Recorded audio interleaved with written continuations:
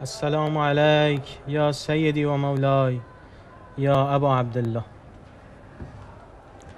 سلام به شهر مقدس کربلا خوش اومدید به بین الحرمین خوش اومدید. افتخار همراهی شما رو دارم با برنامه هشتگ سوژه و از استودیو بین الحرمین. با ما همراه باشید.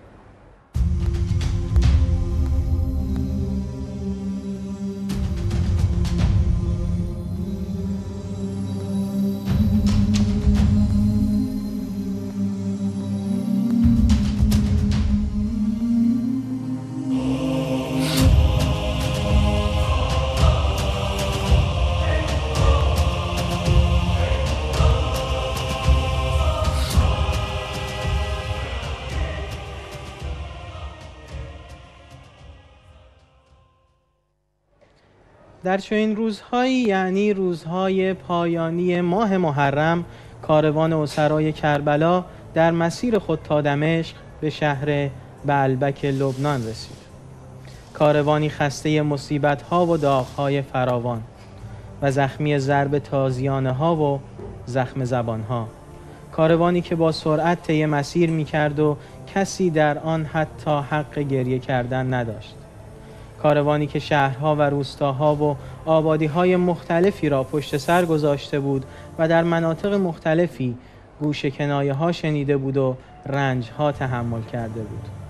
در این بین اما علمداران قیام حضرت سید الشهدا علیه السلام را پس از شهادتش ادامه دادند و با روشنگری و بیان حقایق راه ایشان را ادامه می‌دادند. اشخاصی چون اولیا مخدره زینب ثانی حضرت ام کلسوم سلام الله علیها که در کنار ام المصائب زینب کبرا در کوفه و شام و در منازل بین مسیر بیانات و خطبه های ایراد فرمودند و موزگیری های مختلفی داشتند. سوژه امشب ما درباره یکی از منازل مسیر کوفه تا شام یعنی شهر بلبک لبنان است. جریاناتی که در آن شهر گذشت باعث شد حضرت ام کلثوم علیه السلام دست به دعا بردارند و مردمانش را نفرین کنند. امشب از شما می‌پرسیم در بلبک لبنان چه گذشت که حضرت ام کلثوم سلام الله علیها مردم آن سرزمین را نفرین کردند؟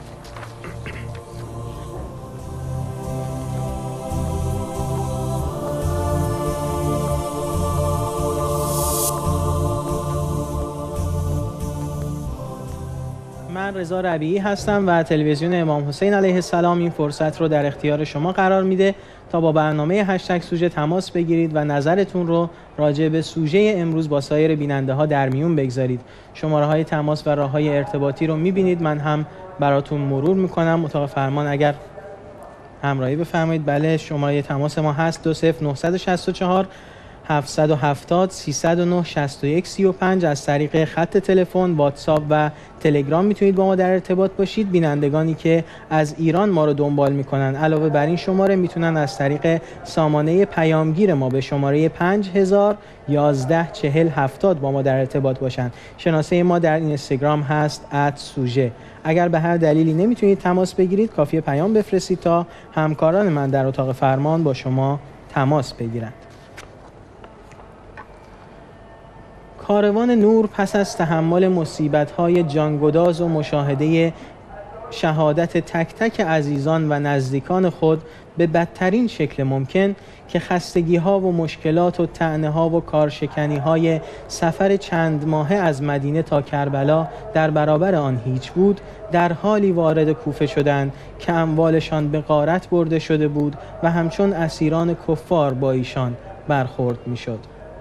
ابن زیاد یک یا چند روز ایشان را به عنوان اسرای جنگی در کوچه های شهر کوفه گرداند در حالی که سر مبارک امام حسین علیه السلام و سایر شهدای کربلا در برابر ایشان حرکت داده می‌شد و مردم جسارت ها و اهانت ها به ایشان روا می داشتند.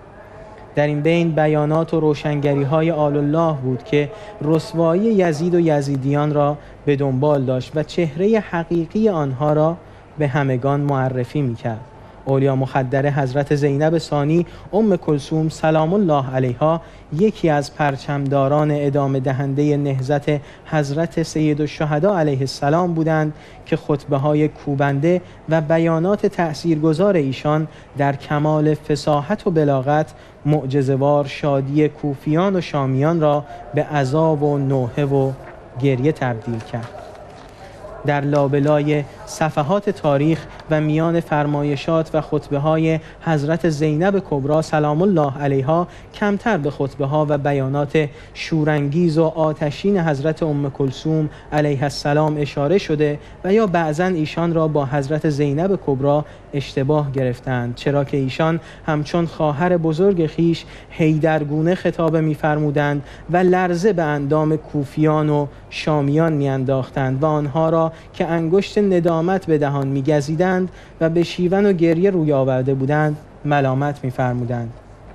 در پی این خطبه ها بود که مردم همگی صداها به گریه و نوحه بلند نمودند و موها پریشان کردند و خاک مصیبت بر سر ریختند و صورتها خراشیدند و لطمه ها زدند و فریاد واویلا برمی آوردند آری. به گزارش منابع تاریخی حضرت ام کلسوم دوشادوش حضرت زینب کبرا پرچمدار و ادامه دهنده نهزت آشورا بودند و کوفه و شام و مدینه شاهد خطبه ها و بیانات و گریه ها و ندبه های ایشان بود. یکی از منازلی که در آن حضرت ام کلسوم بیانات ایراد فرمودند شهر بلبک بود جایی که شهر را آزیم بسته و به استقبال کاروانی آمده بودند که داغدار مصیبت های فراوان بودند.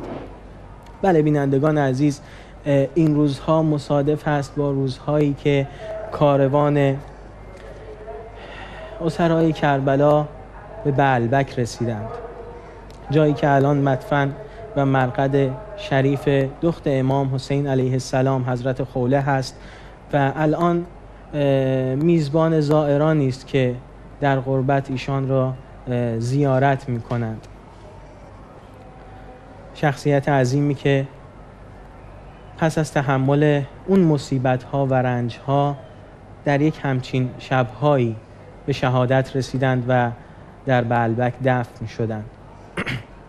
برخورد مردم بلبک با کاروان اسرای کربلا برخوردی شاید بشه گفت از جانبی شبیه برخورد سایر مسیر سایر شهرها و منازلی بود که با این کاروان برخورد می‌کردند. از این جهت که شهرشون رو آزین بسته بودند و با شادی به استقبال این کاروان می‌رفتند. اما امشب می‌خوایم بدونیم که چی شد که حضرت اولیا مخدره زینب ثانی حضرت ام کلثوم سلام الله علیها دختر امیر المؤمنین علیه السلام دست به دعا برداشتند و نفرین کردند مردم این شهر رو. و از خدای متعال خواستند که ظالمان و ستمگران همواره بر اونها حکومت کنند و از شر اونها خلاصی نیابند. تماس بگیرید و نظرتون رو بیان کنید. اگر مطالعاتی داشتید در منابع تاریخی با ما هم اونها رو در میون بگذارید و سایر بیننده ها که ببینیم چه شد در بعلبک چه گذشت که حضرت ام کلسوم دست به نفرین اونها زدند.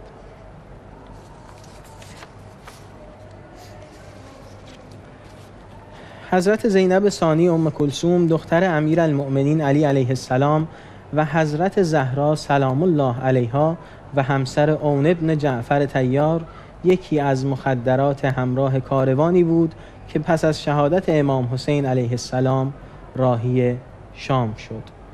کاروانی که در طول مسیر رنجها و سختیهای فراوانی دید. کاروانی که علاوه بر زخم تازیانه ها زخم زبان های فراوانی شنید و در طول این مسیر رنج ها و سختی های فراوانی رو تحمل کرد.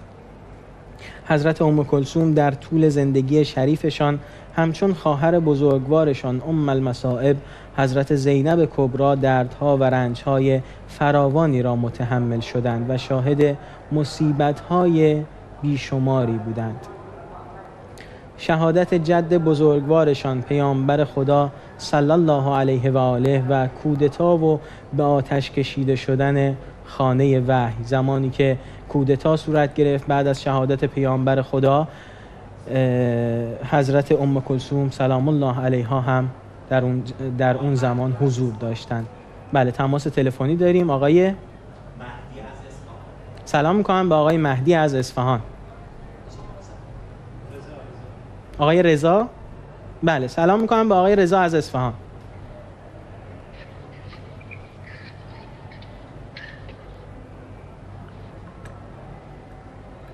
سلام علیکم. سلام می‌کنم به شما. وقتتون بخیر. بفرمایید میشنویم. نظرتون رو. در بلبک لبنان چه گذشت که حضرت ام کلثوم سلام الله علیها مردم اون سرزمین رو نفرین کردن؟ بله یکی از کارهایی که سپاه کفر انجام می‌دادن نرسیده به هر شهر به یه پیکی روانه می‌کردن به طرف اون شهر. بله. و با حاکم اون شهر می‌گفتم که شهر رو آزین ببند.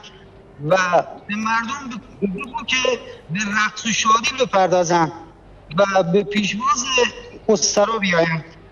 بعد در طول همین مسیر وقتی به نزدیکی شهر بلبک رسیدن یه پیک روانه کردن به سوی حاکم اون شهر.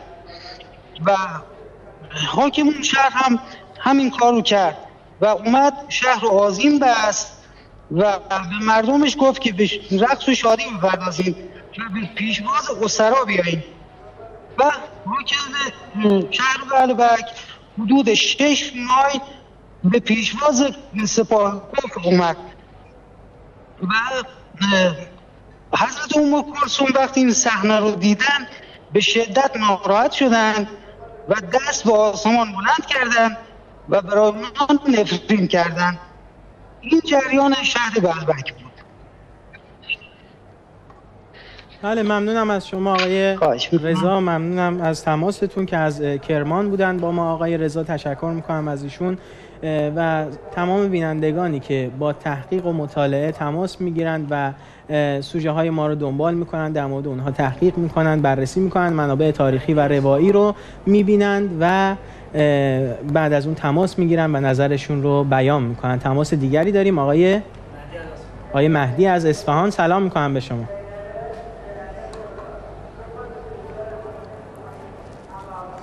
آقای مهدی از اصفهان صدای من رو میشنوید؟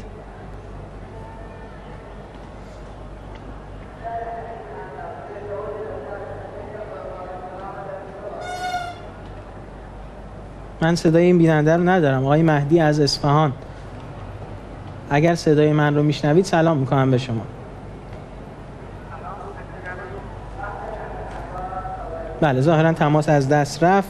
انشالله اگه تماسشون وصل شد مجددا وصل بفرمایید به استودیو تا نظر این بیننده رو هم بشنویم. بله در مورد زندگی حضرت ام کلثوم سلام الله علیها صحبت می کردیم زندگی که از کودکی همراه با رنج ها و مصیبت ها بود. بله تماس داریم آیه؟ بله تماس آقای سعید از اصفهان وصل شده. سلام می‌کنم به ایشون.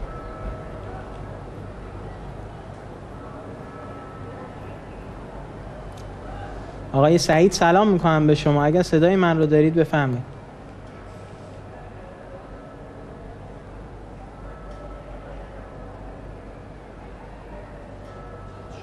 بله متاسفانه این تماس رو هم از دست دادیم.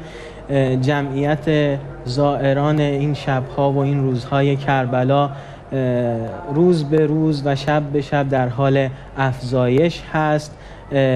ماشاءالله جمعیت زوار الان در بین الحرمین و گرداگرد حرم حضرت سید الشهدا علیه السلام بسیار زیاد هست. اشخاصی که برای عرض ارادت زیارت و عزاداری به شهر مقدس کربلا مشرف شدند و این ازدهام جمعیت باعث مشکلاتی در تماس ها میشه که انشالله به محض برطرف شدن تماس بینندگان وصل خواهد شد و نظرات ایشون رو ایشان را خواهیم شنید. حضرت ام کلثوم مصیبت های فراوانی را از همون کودکی متحمل شدن شهادت جد بزرگوارشون حضرت پیامبر خدا صلی الله علیه و آله و کودتا و به آتش کشیده شدن خانه وحی. شهادت مادر و پدر بزرگوارشون حضرت فاطمه زهرا و حضرت امیر المؤمنین علی علیه السلام و همچنین شهادت برادرشان حضرت امام حسن مجتبی علیه السلام. تماس تلفنی داریم؟ آقای؟ آقای علی از کرمان؟ سلام می‌کنم به شما. سلام علیکم. سلام می‌کنم به شما. سلامت باشید. بفرمایید میشنویم نظرتون رو. در بلبک لبنان چه گذشت که حضرت ام کلثوم نفرین کردن مردم اون سرزمین رو؟ اجازه دارم سلامی از کنم خدمت آقا بفرمایید. سلام کنید. مختصر لطفا. السلام علیک یا ابا عبدالله. السلام علیک یا ابا الفضل عباس. السلام علیک یا ام کلثوم. بنت حسین شهید. آقا جان دشمن از که تبلیغات گسترده را انداخته بود که ما کاروان اسرای خارجی آوردیم و پیروز شدیم و اینا دشمنان دین اسلام بودن خوشبختانه ورق برعکس شد. یعنی کجا که دشمن بلکه برنده بگیره اسلام بلکه برنده گرفت. مظلومیت فرزندان امام حسین برای تمام دنیا روشن شد و دست معاویه و جزید و تمام اون عیادی رو شد. اینجا بود که با جشنه ها و شادی ها که اینا برای اشتراک گرفته بودن و اذیت می‌کنن و شادی می‌کردن فکر می‌کنن پیروز شدن و می‌تونن مردم گول بزنن توی قضیه. خوشبختانه دست رو شد و دختر آقا امام حسین نفرین کرد و مردم سرزمینه نفرین کرد و همین بود که هر کجا سوال می‌شد از امام سجاد از زینب و کبرا که چه گذشت در شما؟ گفتن سختترین جا و مصیبت ترین جا از شام از شام از شام. خدا لعنت کن معاویه و ایادی آنها را.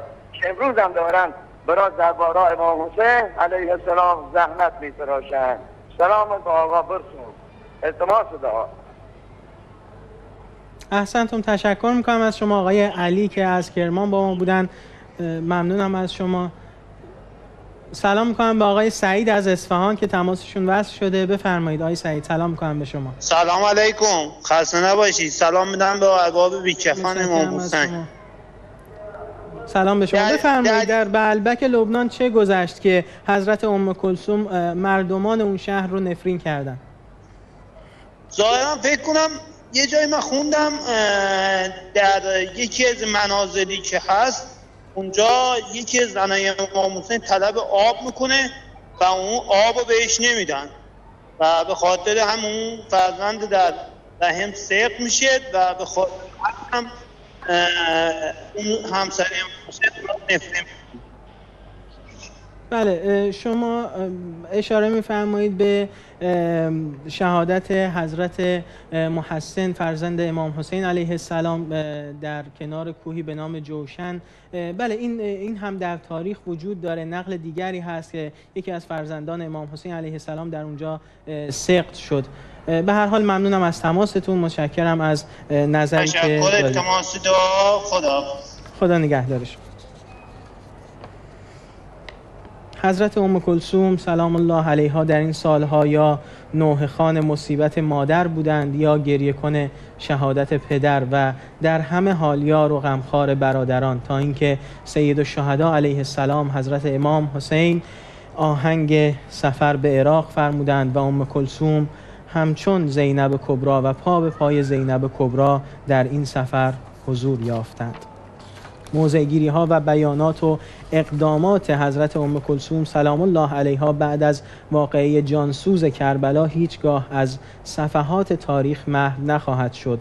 خطبه های ایشان پس از حضرت زینب کبرا در کوفه و شام و بانگ برآوردن در برابر ظلم و جنایت یزید و ابن زیاد و شمر که در تاریخ به صورت مفصل آمده و یا, و یا ممانعت حضرت ام کلثوم از صدقه دادن اهل کوفه به کودکان اهل بیت علیهم السلام و خطاب قرار دادن اونها که اهل که ای اهل کوفه صدقه بر ما اهل بیت روا نیست. و یا ملامت اهل کوفه زمانی که زنان ایشان دست به, به گریه مشغول بودند بعد از روشنگری های ایشون و ایشان فرمودند که ای اهل کوفه مردان شما مردان ما را می‌کشند و زنان شما بر حال ما گریه می‌کنند. در فردای قیامت خدای متعال بین ما و شما حکم خواهد کرد و یا مرسیه و گریه ایشان در مراجعت به مدینه منوره و زمانی که دیوارهای شهر رو دیدند سروده هایی دارند که اونجا قرائت فرمودند یا در قبرستان بقی اونجا اقدام به روزخانی و گریه کردن می کردند و بعد از حضرت زینب کبرا به مرسیه خانی می پرداختند و مردم اونجا گریه می کردند مختلفی از حضور حضرت زینب سقرا حضرت ام کلسوم در جای جای این این مسیر و این نهزت حسینی وجود داره. نقل های مختلفی هم هست از ایشون. قبل از واقعه جانسوز کربلا جریان شهادت امیر المؤمنین علیه السلام و جاهای دیگر که در تاریخ می‌تونید مراجعه کنید و با تحقیقات به اونها برسید. تماس تلفنی داریم. سلام می‌کنم با آقای تاها از استانبول. سلام علیکم و رحمت الله و برکاته. سلام می‌کنم به شما. بفرمایید آقای تاها در بلبک لبنان چه گذشت که حضرت ام کلثوم سلام الله علیها مردم آن سرزمین را نفرین فرمودند؟ همون که مستحضر هستید حضرت ام کلثوم تمام اون تختی هایی که در عمرشون کشیده بودن بعد از شهادتشون هم حالا فوتشون البته بعد از فوتشون هم اون داستان سراهای اهل سنت برای اثباتش با خلیفه دوم درست کرد حالا اصلاحات اما هیچ ما دید که حضرت زبان به نفرین یا دشنام به کسی رو باز کنه الا همین موقع که زمانی که حضرت حالا کلا سرا به لبنان و به رسیدن فرماندار اونجا مجلسی رو ترتیب داد که از شراب و مشروب و رقاصه و اینها بود. و اونها رو دعوت کرد که کردن و حضرت اونجا دیگه تاب نیاورد.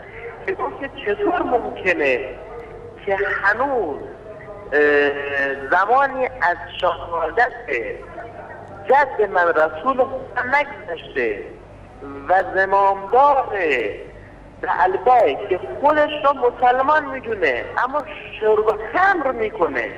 و مجلس نقل راه میندازه برای ورود ما به بلدک و بعد هم که می‌خواستن از اونجا خارج بشن وقتی هم رسیدن به شما اونجا هم به باید حضرت فرمودن. من مثل می‌کنم مردم به الدک رو. از فرماندار از فرماندار به الدک رو.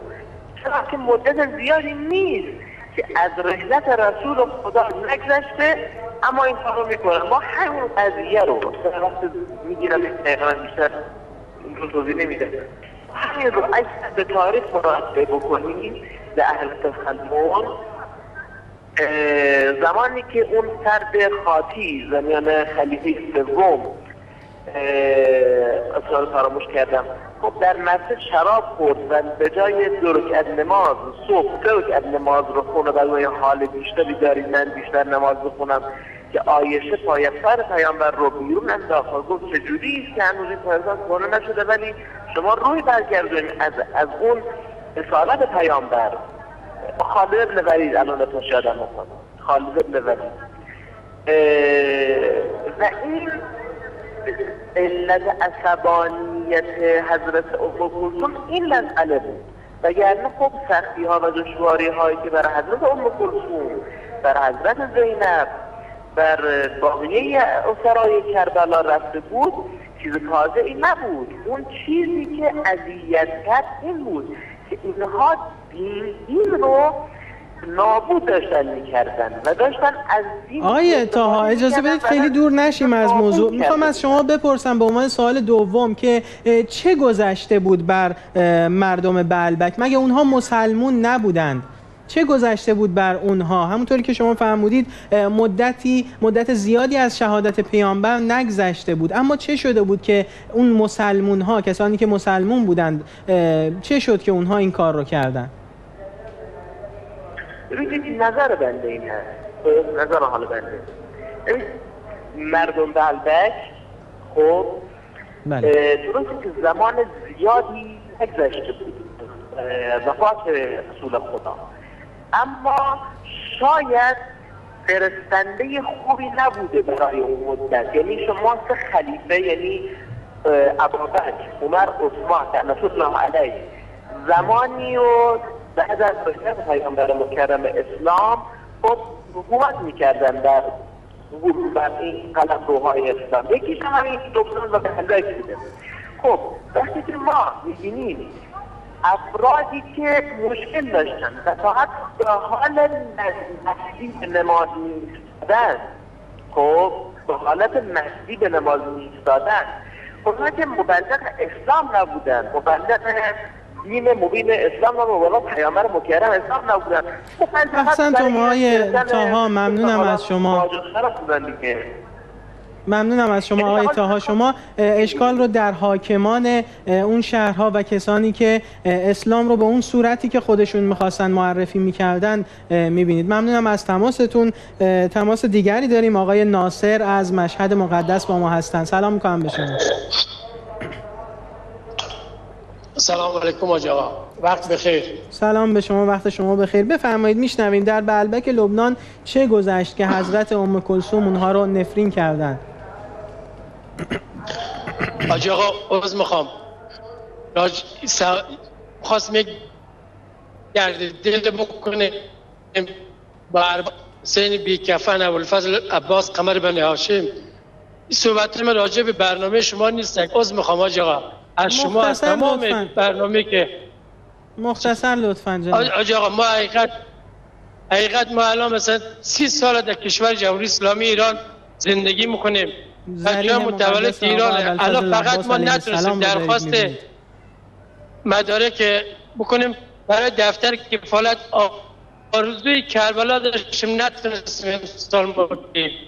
میگه شما چون مدرک نداریم چون ما از این مدرک داریم که از همین رهبری پدر مسلمین دستور داد که بچه های مهاجر افغانستانی رو مدرسه بگیرین. بچه های ما داری از اون مدرک شناسایی مدرسه هستن. از اول سال تا بال خدا شاید با خودم خانوادم زحمت کشیدم که امسال بتونم اربعین بیام کربلا. آقای ناصر ما دعاگوی شما هستیم. انشاءالله که به زودی قسمتتون بشه و مشرف شید به کربلا. یک کمی آج آقا. خود می‌خوام یک کمی. آج آقا از شما از تمام دوستان خواهش می‌کنم التماس دعا دارم که انشاءالله بتونم بیام کربلا.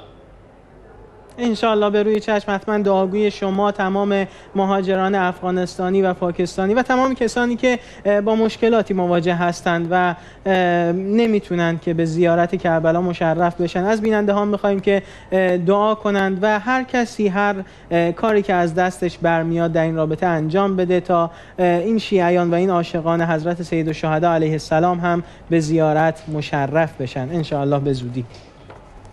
در بین مسیر عبور کاروان از کوفه تا شام شهرها و روستاها و آبادیهای فراوانی وجود داشت که با شنیدن خبر شهادت امام حسین علیه السلام و اطلاع یافتن از اینکه کاروان کاروان اهل بیت ایشان از شهر یا آبادی آنها عبور خواهد کرد اقدام به آزیم بندی شهر کرده بودند و به این شکل از ایشان استقبال می کردند تا نمکی باشند بر زخمهای بیشمار و مصیبتهای فراوان آنها. در این بین کاروان از منطقه‌ای به نام سیبور عبور کرد که آبادی در جنوب حلب امروزی هست در سوریه. در آستانه این منطقه نیزداران همانطوری که از سوی ابن زیاد مأموریت داشتند سرهای مقدس را به نیزه زدند و برای گرداندن آنها در سیبور آماده شدند. اهالی این منطقه گرده هم آمدند و پیرمردی که سرهای مقدس شهدا را مشاهده کرده بود و سر مبارک امام حسین علیه السلام رو شناخته بود رو به اهالی منطقه کرد و گفت سر امام حسین علیه السلام است که در همه شهرها و آبادیها گردانده شده. جوانان شهر از اینکه این گونه به فرزند پیامبر خدا صلی الله علیه و آله توهین شده و بعد از شهادت ایشون این گونه با اهل بیت خودشان رفتار می شود به خشم آمدند و با یکدیگر متعهد شدند که سپاهیان و عاملان شهادت امام حسین علیه السلام را به شهر خود راه ندهند. شهر یا اون منطقه ای که در اون زندگی می کردند و آب و آزوقه در اختیار اون سپاهیان قرار ندند و ننگ حمایت از قاتلان حضرت سید الشهدا علیه السلام را برای خود و شهرشان نخرند. پیرمرد رو به آنها کرد و گفت این کاروان از شهرهای مختلفی گذشته. شهرهایی که همه آزیم بندی شده بودند و همه به استقبال کاروان اسرا می‌رفتند در حالی که به جشن و پایکوبی مشغول بودند. و پیرمرد گفت بگذارید که از این شهر نیز بگذرند. اما جوانان مصمم و هم پیمان شدند که به هر صورتی که شده از ورود آنها به شهر جلوگیری کنند و گفتند به خدا سوگند هرگز نمی‌گذاریم. این قوم پلید شهر ما را به قدوم خیش آلوده سازند. جوانان سیبور روی پل ورودی شهر ایستادند و راه را بستند و با سلاح آماده نبرد شدند. این جوانان جوانانی بودند که در یکی از منازلی که کاروان از اونجا میگذشت تصمیم گرفتند و مصمم شدند که هیچ گونه همکاری با سپاهیان با سپاهیان و اشخاصی که عاملان قتل امام حسین علیه السلام بودند و کاروان رو به اسارت برده بودند و اونها رو تا شام هدایت می‌کردند مصمم شدند که هیچ گونه حمایتی از اونها نکنند و هیچ خدماتی در اختیار اونها قرار ندن. خولی پس از آنکه آنها را پس از آنکه از آنها آب و آزوقه طلب کرد با این جمله مواجه شد که اون جوانها به خولی گفتند شما امام حسین علیه السلام را با لب تشنه شهید کردید. هرگز سیرابتان نمی کنیم. از این رو خولی به سربازان و همراهانش دستور داد با آنها بجنگید. جنگ سختی در گرفت. جنگی بین سپاهیان خولی و جوانان شهر اون شهری که به استقبال کاروان نرفتن مثل شهرهای دیگر مردم سیبور اون منطقه یا آبادی شاید بهتر باشه بگیم چون منطقه خیلی کوچکی بود. در این جنگ از سربازان خولی 60 نفر یا بنا به نقلهای دیگر تاریخی 600 نفر کشته شدند و شماری نیز از مردمان سیبور به شهادت رسیدند. ام کلسوم سلام الله علیها وقتی غیرت و دفاع مردمان آن آبادی را دید پرسید نام این منطقه چیست؟ گفتند سیبور ام کلسوم در حق آنها دعا فرمودند و گفتند خدایا آبشان را گوارا اجناسشان را فراوان و ارزان و دست ستمگران را از شهرشان کوتاه کن. ابو مخنف می‌گوید در اثر دعای ام کلسوم اگر تمام جهان انباشته ظلم و جور می‌شد سرزمین های ایشان همواره شاهد وفور نعمت و آبادانی و عدالت بود. سلام می‌کنم به آقای محمد رضا که از اصفهان تماس گرفتن. الو سلام علیکم. خسته نباشید سلام می‌کنم به شما سلامت باشید. بفرمایید در بلبک لبنان چه گذشت که حضرت ام کلثوم اونها رو نفرین کردن آقا السلام علیک یا ابا عبدالله آقا در صاحب ناسخ می نویسه اهل بیت پیامبر وقتی به بعلبک نزدیک کردن اون ملائین به حاکم بعلبک نوشتن که سرهای این خوارج اهل بیتشون در نزد ما اسیرن و برای ما ادوات عشق آزوقه و شراب و این چیزا رو آماده بود.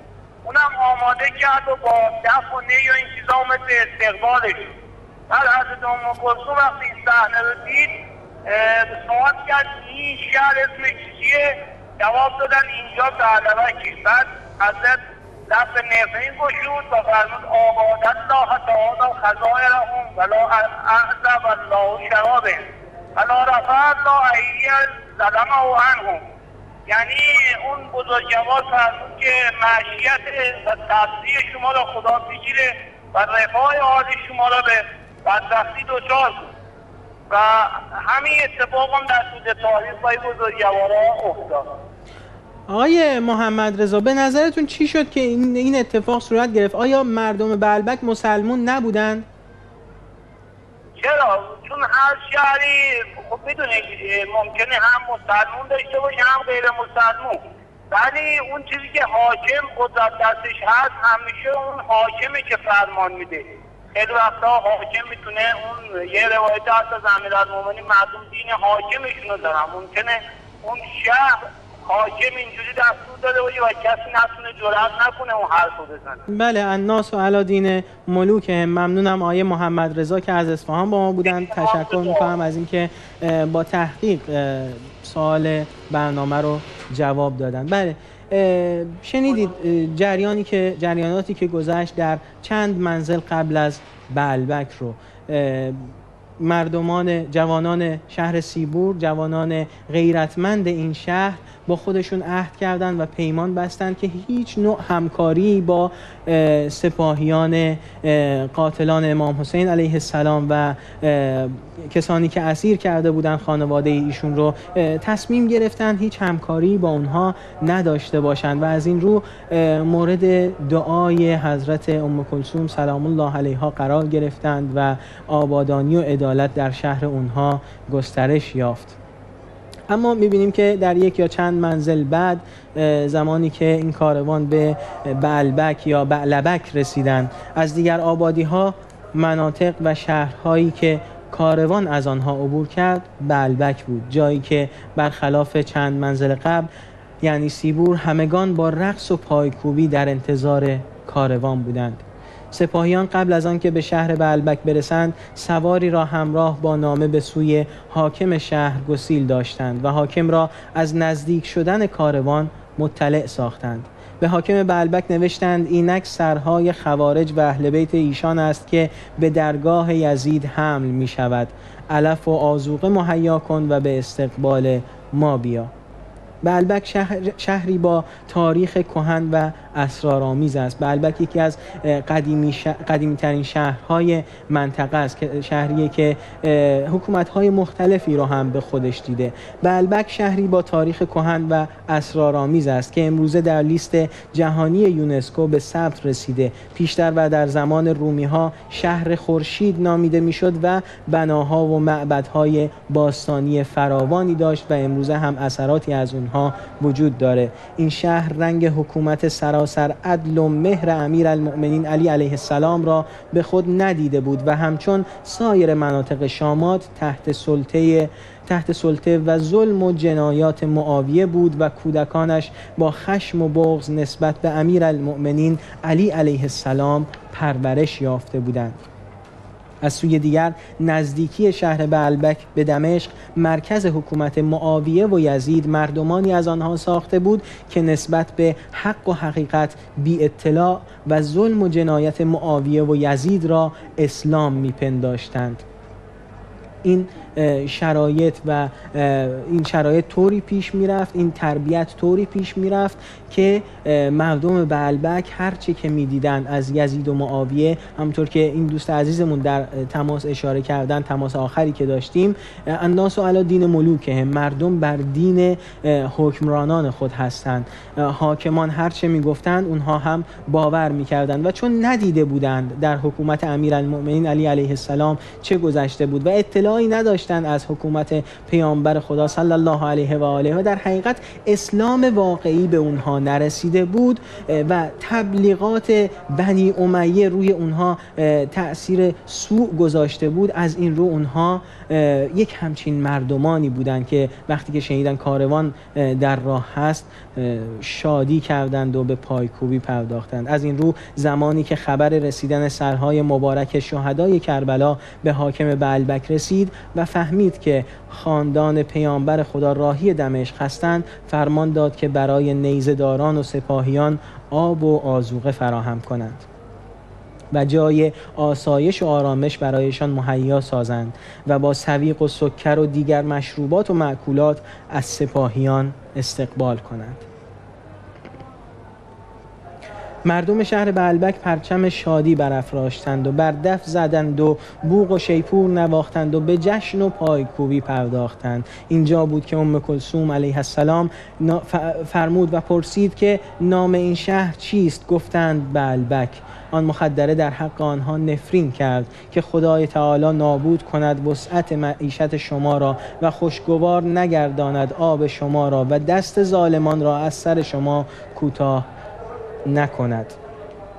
ظالمان همیشه و در طول تاریخ دستشون بر سر شما باشه و ظلمشون بر شما باشه. ابی مخنف میفرمایند که اگر همه دنیا را عدالت و رفاه فراگیرد در بلبک جز آثار ظلم و بیچارگی چیز دیگری نیست و این تأثیر نفرین حضرت ام کلثوم سلام الله علیها در حق مردم بلبک بود. زمانی که امام سجاد علیه السلام حضرت علی ابن الحسین علیه السلام نفرین عمه بزرگوارشان در مورد مردمان بعلبک را شنید کلماتی به نظم بر زبان جاری فرمود و شعری سرود که اینگونه آغاز می شود. این همان زمان است که شگفتی هایش از نظر بزرگان پایان پذیر نیست و مصائب آن نامشخص است. تا پایان اون ابیاتی که حضرت علیه السلام اونجا سرودند و بیان فرمودند و در تاریخ موجود هست در کتب تاریخی و روایی موجود هست می‌تونید مراجعه کنید و بخونید. ترجمه فارسیش هم موجود هست. کاروان اون شب رو در بلبک گذرون کنار مردمانی که هیچ چیز از شادی کم نگذاشتند. و به سبک و شیوه خودشون شادی ها کردند و اونگونه استقبال کردند از این کاروان و نمکی شدند بر زخم های ایشان. کاروان آن شب را در بلبک گذراند و صبح هنگام به راه خود ادامه داد و شب بعد در صومعه ای که در آن نزدیکی بود منزل کرد صومعه ای که اون هم جریاناتی داره و زیباست. در تاریخ ببینید مشاهده کنید تحقیق کنید در این رابطه. اگر هم فرصتی باشه و اتاق فکر برنامه صلاح بدونن انشاءالله برنامه ای هم در این خصوص خواهیم داشت. حضرت ام کلثوم سلام الله علیها پس از واقعه هولناک کربلا دوشا دوش حضرت زینب سلام الله علیها بود. قافله وقتی در اربعین به کربلا برگشت حضرت زینب سلام الله علیها در کنار قبر برادر آنقدر ناله کردند و لطمه زدند و روزه خواندند که از هوش رفتند. سپس حضرت ام کلثوم سلام الله علیها برخواستند و روزه خواندند و از حال رفتند.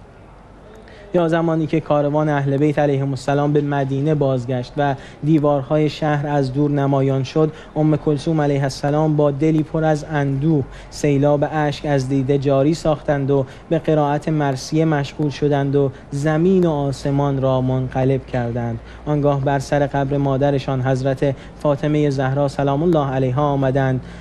و از بانگ ناله و گریه شور محشر به پا فرمودند. مردم گریبان ها چاک زدند صورت ها خراشیدند و ناله ها سر دادند.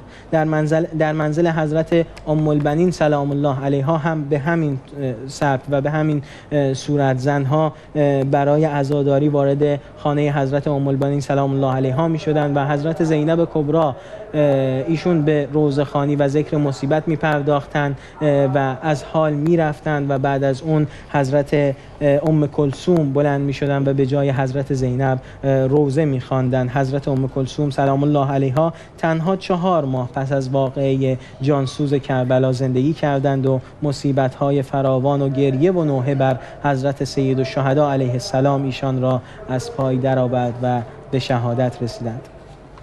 ولی بینندگان عزیز تا جایی که فرصت باشه و وقت به ما اجازه بده سعی می‌کنیم پیام هایی رو که شما برای ما از طرق مختلف ارسال کردید قرائت بکنیم. سری می‌زنیم به اینستاگرام امام حسین تیوی وان جایی که کامنت دادید زیر پوستر برنامه و سوال برنامه. کاربری نوشتند ورود اسرای اهل بیت علیهم السلام به شهر بلبک و استقبال مردم آن شهر از نیزداران با شکر و سبیل و آزوقه و علف باعث شد که حضرت ام کلثوم سلام الله علیها با دیدن این منظره در حق آنان نفرین کردند. کاربری در اینستاگرام حجت الاسلام بهنام کامنت دادن معروف ترین نفرین تاریخ نفرین حضرت ام کلثوم سلام الله علیها بر اهل بلبک بود. وقتی کاروان اسرا به شهر بلبک رسیدند حاکم شهر دستور داد و مردم و اهالی بلبک خوشحالی کردند و دف و ساز زدند. حضرت ام کلثوم علیه السلام فرمودند خداوند سبزیجات آنها را نابود سازد آبهایشان را شیرین نکند و دست ستمگران را از سر آنها دور ننماید. خداوند جمعیت شما را نابود کند و کسی را بر شما مسلط سازد که شما را به قتل برساند. در سامانه پیامگیر ما کاربری پیام دادن مردم به جای یاری و همدردی و همدردی و اعتماد به ایشان او را مورد سرزنش و توهین قرار دادند.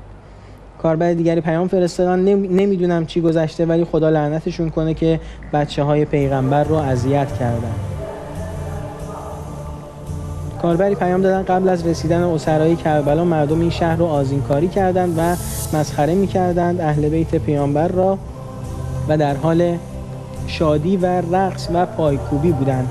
به همین خاطر اهل بیت این شهر را لعنت کردند. کاربر دیگری در سامانه پیامگیر ما فرستادن. 28 محرم در ورود کاروان اهل بیت به بلبک مردم با شادی و هلهله به استقبال سربازان آمدند و شادی کردند و حضرت ام کلثوم نفرین کردند مردم بیصفت را.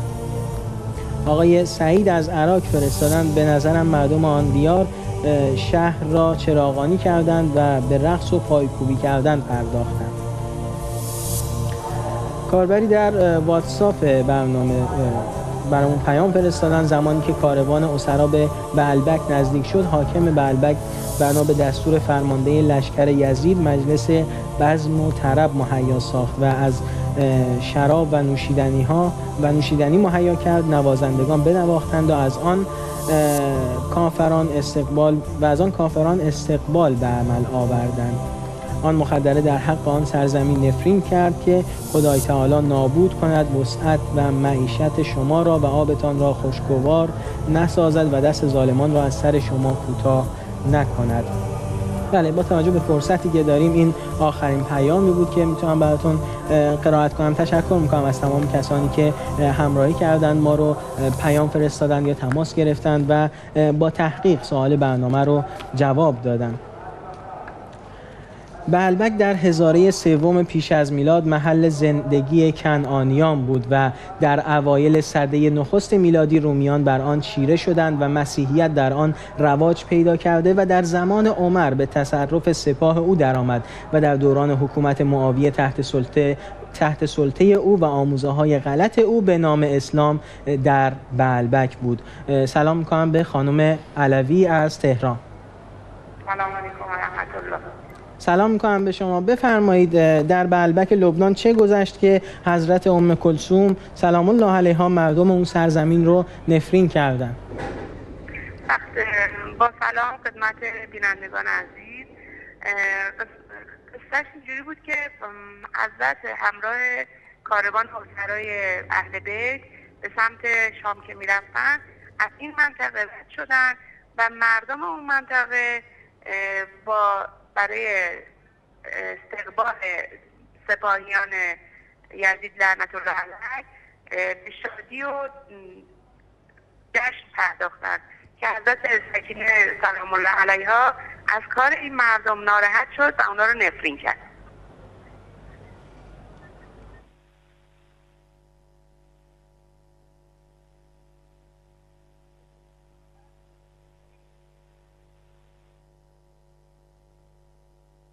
در این مورد بیان بکنید. ب... مردمان بلبک آنچه از معاویه و یزید می‌دیدند اسلام میپنداشتند و از آموزه های اسلام حقیقی و حکومت امیر المؤمنین علی علیه السلام بویی نبرده بودند.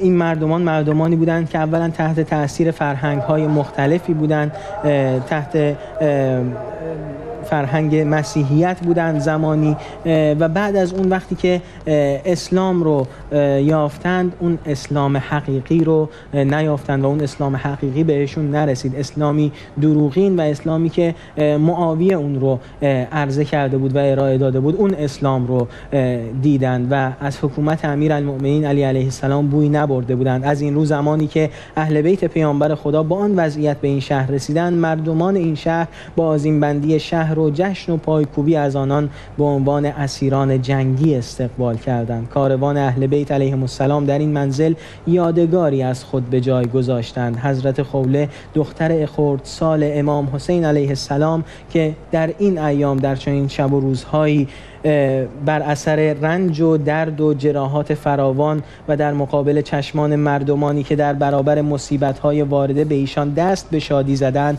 به شهادت رسیدن. بینندگان عزیز تصاویری که مشاهده می‌کنید مربوط هست به حرم و بارگاه متحر دختر امام حسین علیه السلام دختر خردسال ایشون که همواره محل زیارت شیعیان و محبان ایشان از سایر ادیان و مذاهب مسیح مسیحی ها حتی مسیحیان هم به زیارت ایشون مشرف میشن. کرامات بسیار زیادی می‌بینن معجزات فراوانی می‌بینن و حاجت ها می‌گیرند و بر این زیارتشون ادامه میدن. یکی از معجزاتی که رخ داد حدود چهار سال قبل در ایام آشورا و هنگامی که مشغول عزاداری بودند در اون مکان مقدس. این تصاویری که مشاهده می‌کنید مربوط به همون جریان هست.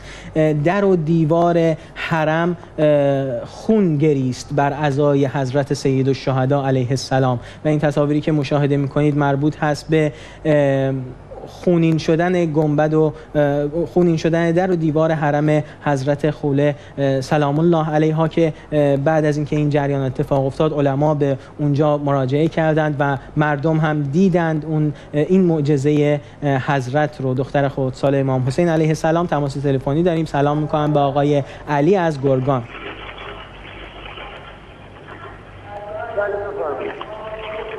آیا علی سلام می‌کنم به شما؟ بفرمایید در بلبک لبنان چه گذشت که حضرت ام کلثوم سلام الله علیها مردم آن سرزمین را نفرین کردند؟ عزیز ما ما هر چی شنیدیم از روزه ها بود. بعد همیشه عمر رو لن می‌کردن. بعدش گوش بدی قربان. بعدا فهمیدیم که ام کلثوم دختر علی دادم به عمر. بعد خب این کذبی هست که در طول تاریخ نسبت داده شده به این خاندان. بعد بعد ما از این قضیه متعجبیم که چجوری اینا همه قوم و خیشن بعد سر منبرها اینا رو لن می‌کنن. مثلا زن پیامبر رو که تو قرآن اینقدر به خوبی ازش یاد کرده. آقای علی همطور که عرض کردم این مطلب کذبی هست که در طول تاریخ نسبت داده شده و ما پیشتر هم در این مورد سوژه ای داشتیم و امیدوارم که بیننده بوده باشید یا اینکه می‌تونید مراجعه کنید در سایت هایی که مثل آپارات و برنامه موجود هست در این رابطه صحبت شده و همسر ایشون پسر اموشون بود فرزند جعفر تیار همونطوری که و برادر همسر حضرت زینب کبرا سلام الله علیها. آنچنان که در منابع تاریخی آمده پس از دفن دخت بزرگوار حضرت سید الشهدا علیه السلام در جنوب بلبک حضرت امام علی ابن الحسین علیه السلام درخت سروی را در نزدیکی قبر, مشا... قبر مبارک کاشتند تا نشانی باشد بر قبر متحر ایشان. تصاویری که مشاهده می کنید مربوط هست به مربوط هست به همون درختی که امام سجاد علیه السلام در اونجا کاشتن درختی که الان عمرش 1378 سال هست و این درخت سرب امروز همچنان پابرجاست و یادآور ظلم و جنایت مردمانی است که در مصیبت اهل بیت علیهم السلام شادی کردند و دف زدند و مستحق نفرین حضرت ام کلثوم. سلام الله علیها شدند. در منابع تاریخی آمده که مردم بلبک تا شش فرسخی از شهر بیرون آمدند و به روش خاص خود به جشن و شادی پرداختند چرا که شهرها هرچه به مقر حکومت امویان نزدیک می‌شد با توجه به اون جوی که وجود داشت اون خفقانی که وجود داشت و هرچه که می‌دیدند فکر می‌کردند این اسلامه با توجه به اینها مردمانش از اهل بیت علیهم السلام دورتر بودند و تبلیغات وسیع یزید علیه خان خاندان پیامبر خدا صلی الله علیه و آله بر گمراهی آنها افزوده بود. از این رو حضرت امام سجاد علیه السلام در حالی که قطرات اشک بر چهره مبارکشان جاری بود با قلبی سوزان به مردم غفلت زده بلبک چنین فرمودند که ما را بر پشت شتران برهنه سیر می‌دهند. به مرد سیر می‌دهند در حالی که سوار بر شترهای نجیب خیش خیش را از گزند دشواری های راه در امان میدارند. وای بر شما ای مردمان غفلت زده. شما به پیامبر کفر ورزیدید و زحمات او را ناسپاسی کردید و چون گمراهان راه پیمودید. بله منظره ای که در بعلبک گذشت در بعلبک گذشت منظره ای بود که چه بسا کاروانیان تا آن روز تلخ تر از آن را ندیده بودند. شلاق خنده ها تنهای رنجور اهل حرم را به شدت شکنجه می‌داد. سخنان شماتت آمیز و آکنده از طعن آنها قلبهای مجروح را مجروح تر می ساخت از این رو بود که حضرت ام کلثوم لب به نفرین گشودند. در این بین بعضی از مردم بعلبک وقتی که فهمیدند که این سرهای مبارک از آن کیست و فهمیدند که کاری انجام دادن مظاهر شادی رو از شهر جمع کردند و یک جا همه رو سوزاندند. تا فردا 19 و 15 دقیقه به وقت تهران خدا نگهدار.